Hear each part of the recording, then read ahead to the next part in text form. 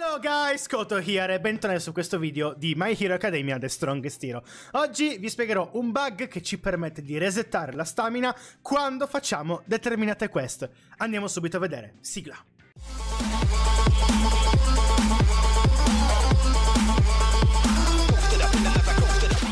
Allora ragazzi, quante volte avete cercato di fare una battaglia magari Night Ops per cercare questi chip, trovare, cercare di trovare questo chip 6 stelle e invece è uscito fuori un chip 5 stelle o addirittura un 4 stelle, che schifo, beh. Allora, allora c'è un bug, un exploit, chiamiamolo come ci pare, che ci permette di fare la run, controllare quello che abbiamo droppato e nel caso non ci piaccia il drop Chiaramente nel caso droppassimo un 4 stelle o un 5 stelle, possiamo totalmente resettare la run.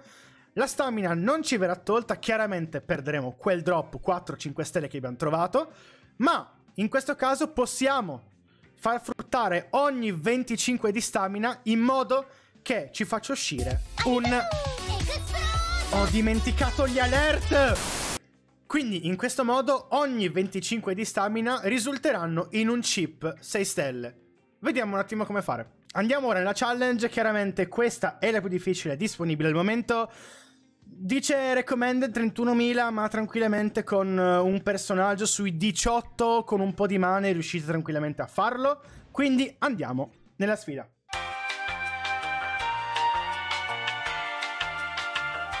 Allora, eccoci tornati. Come vedete ho 32 resine. Ora, speederò la run perché non interessa a nessuno come, eh, come ammazzo un, un boss. E ci rivediamo alla fine della run.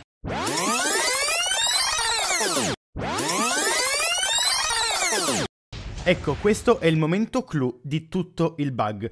Vedete quel bagliore viola? Ecco, questo vuol dire che abbiamo droppato un chip 4 stelle.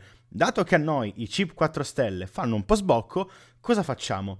Resettiamo, chiudiamo prontamente l'applicazione prima, prima mi raccomando ragazzi, prima di eh, avere il loot, di vedere che chip abbiamo droppato. Così ragazzi non spenderemo stamina, potremo rifare la nostra run in scioltezza sperando di trovare qualcosa di meglio. Per questo video è tutto ragazzi, vi ricordo che streamo su Twitch ogni sera dalle 10.30 in poi, vi lascio tutti i link in descrizione, lasciate like ed iscrivetevi al canale nel caso non l'abbiate ancora fatto, noi ci rivediamo in un prossimo video. Koto, out!